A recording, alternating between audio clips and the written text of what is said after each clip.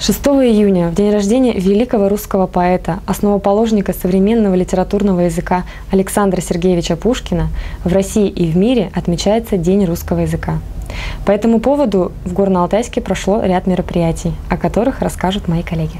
6 июня на центральной площади Горно-Алтайска состоялось мероприятие, посвященное празднованию Дня русского языка. Ежегодно он отмечается по всей России. Датой проведения праздника выбран день рождения великого русского поэта Александра Пушкина.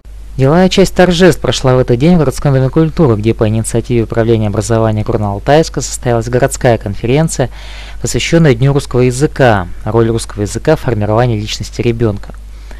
В работе конференции приняли участие педагоги городских школ, библиотек, представители Курналтайского педагогического колледжа и госуниверситета, чиновники городской мэрии и региональных министерств. В ходе работы конференции были рассмотрены актуальные вопросы преподавания русского языка и литературы в условиях реализации федеральных государственных образовательных стандартов, преемственность в организации внеурочной деятельности. Родители не читают книг, сами не читают книг и тем самым не дают пример детям читать книги. Вот. Эта тема э, и проблема, она идет из семьи, вот, соответственно.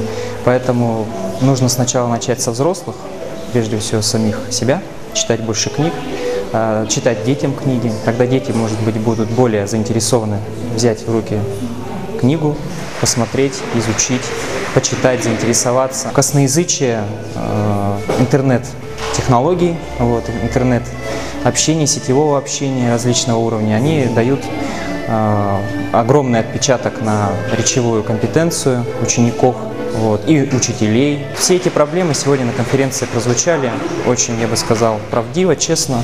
Вот, и надеюсь, что каждый, кто присутствовал, задумается и хотя бы начнет себя, чтобы ее решить.